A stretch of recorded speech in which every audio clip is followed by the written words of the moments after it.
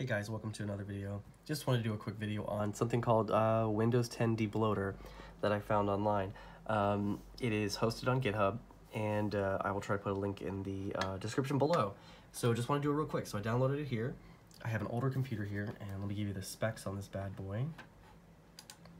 So this is a HP uh, ProBook 4720S, has a uh, first generation Intel Core i5, or uh, maybe a mobile processor, 450 at 2.4 gigahertz.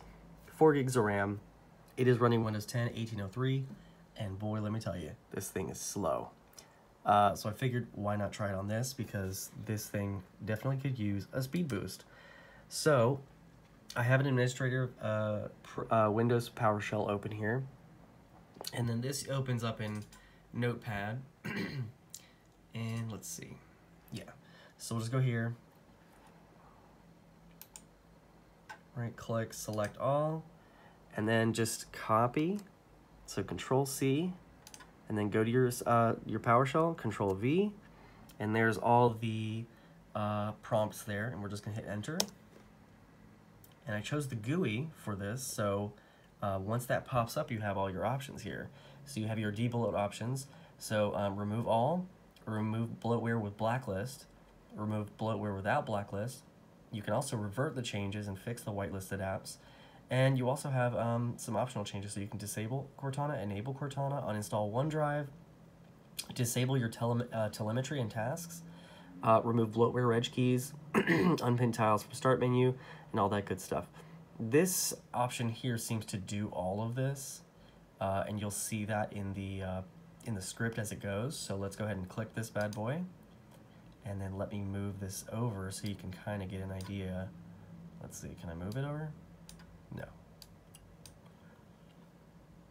You can kind of see this stuff happening in the background. Let's see. Oh, there we go. Okay, so here's uh, it going in the background here, and it's just going to go through and get rid of all this stuff. And if you look right here, you can see all the apps that it's getting rid of.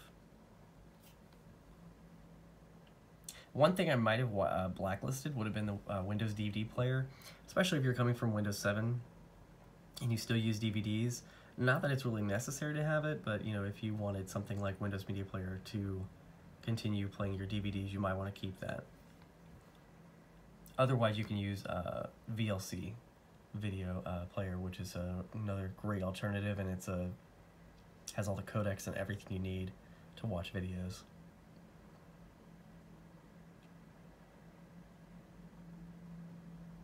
So let this go here. And it's just crazy how much crap it's taking out. You know, you don't really think about how much junk comes on Windows 10. And uh, the version that I ran this on just a few minutes ago was um, the Education Edition. And it also had a bunch of just junk.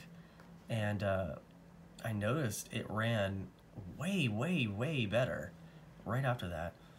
So it seems that just getting rid of all this junk and getting uh, you know, all this background tasks and stuff makes it run as it should. So I mean, if you just watch this, you'll see, you know, sound recorder, Xbox, Zune video, wow, solitaire selection, solitaire collection, 3D viewer, people, print, Skype app, wallet, Windows alarms, Windows maps, Bing weather.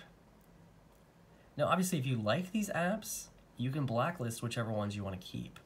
Um, but for something like this, for something you know, an older computer that really doesn't have a lot of horsepower, not that a computer has horsepower, but for something that's you know older and can't really handle Windows 10 as it comes out of the box, this is fantastic.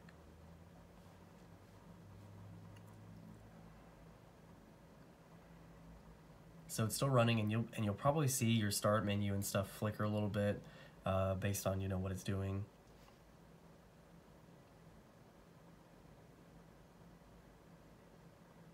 All right, so it's still going. 81 activities not shown. And when it's done, it actually has a little uh, pop-up at the bottom here. So this is actually showing what it's doing. Transcript started, output file, uh, messaging, message starting sysprep fixes, adding register key to disable store automatic updates, stopping install service, setting install service startup to disabled, removing bloatware apps. And then once it's done, it'll actually show you, it'll say completed down here below this list. Look at this, it's just still going. so look, it looks like it's removing some reg keys there.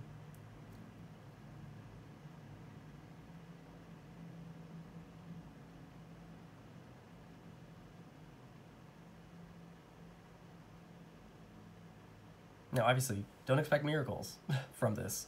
Um, if your computer's old and it's slow, it's not going to be much faster, you know, after this, but it should make a significant improvement on how much um, is running in the background um, on this. So, uh, you know, if you have an older computer and uh, one cheap way to make things run a little bit faster is, you know, putting an SSD in there. And if you check on Amazon, uh, a lot of times you'll find, you know, some good deals on SSDs and it's really not a very difficult process to change them out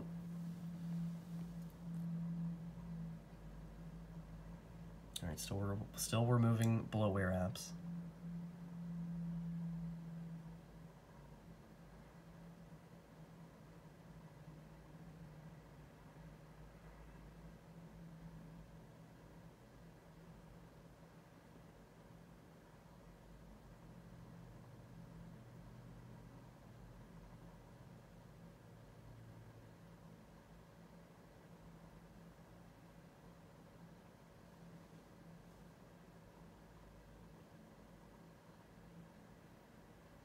And I would have edited this edited this on my computer, but my MacBook just decided to give me some issues today. Not today, yesterday. Uh, for some reason, it. Um, I have a dual boot, so I have you know Windows 10 as a, a boot camp partition, and I'm not sure if that caused the issue, but um, I kept getting the folder file folder with a question mark in it. So I'm gonna have to reformat it when I get home. I'm doing this uh, currently at work, so. I'm in one of uh, the realtor's offices here. And there's me. Hello. But yeah, so it's a lovely day outside. You can see here.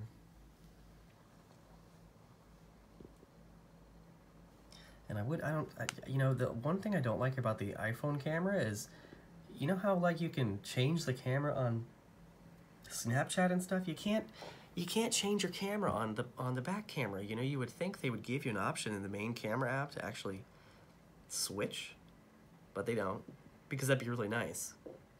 Then I wouldn't have to do this, and I probably look terrible. But hey, so we're still going. Man, this this thing is uh, very slow. Very, very, very, very slow. We are still going.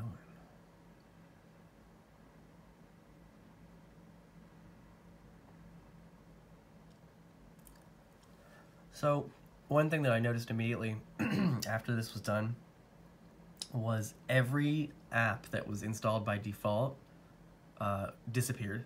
All of them disappeared. And then as you go through your start menu here, you'll notice a lot of just a very, look at this, it's very, very slim very slim down, and I'm sure it's going to run a, a, hell of a lot better. Um, yeah, you can tell. See, this thing is just slow. Slow as molasses. Here, let's check our task manager and see how that's looking.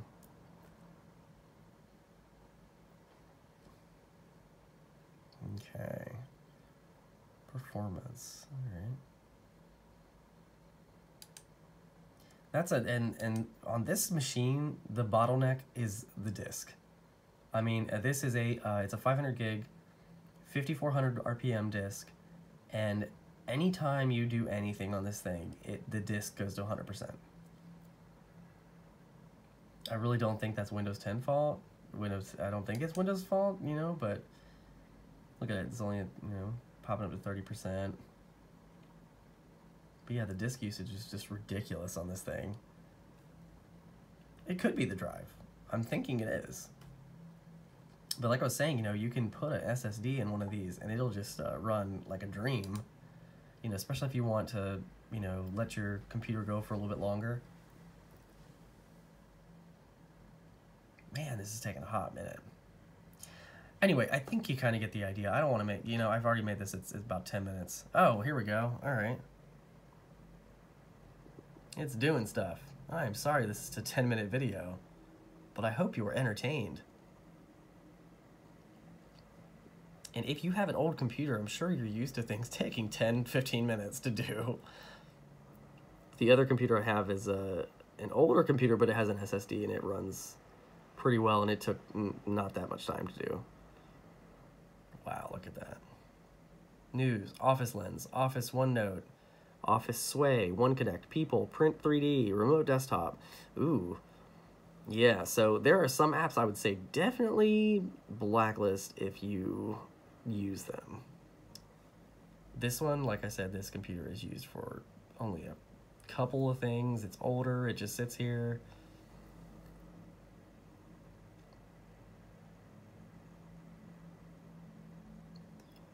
Wow.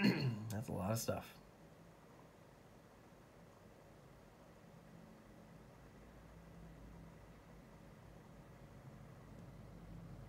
Xbox app. And honestly, when I when I look at this list, there's so many things I don't even know about, but I'm definitely gonna do this at home. There's a lot of stuff I don't need on my on my home computer either. Just look at that Zune music, Zune video. Welcome back to 2007.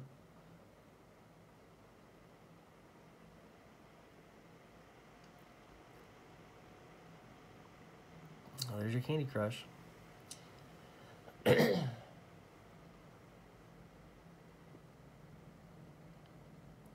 Facebook, Spotify, Minecraft, Royal Revolt, Sway.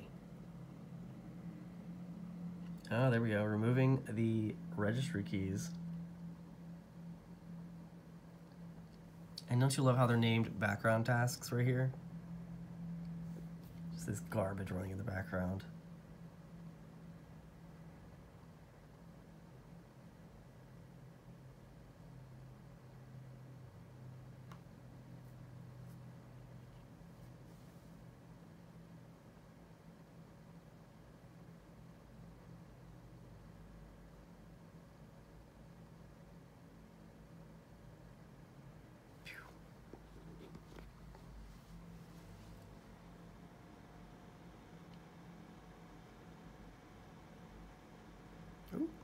Performing operation, new property on target. So these are the new registry keys that they put on here. So disabling people icon and taskbar, turning off data collection, disabling live tiles, setting mixed reality port value to zero, uh, stopping Cortana, stopping the feedback experience, disabling scheduled tasks, end region events. I'm not sure what it's doing there, so, but unpinning all the tiles from the start menu,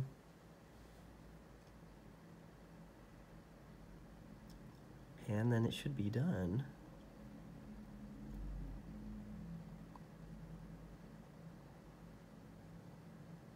Mm, this is taking a minute. So yeah, this is one of those things you would definitely want to just, uh,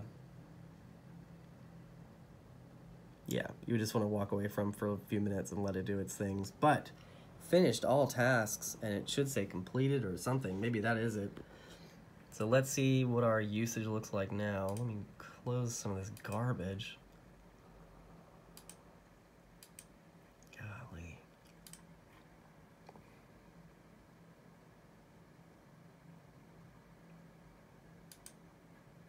Oh, always wants to update stuff, Apple. You always want to update. Not today, buddy. Not today.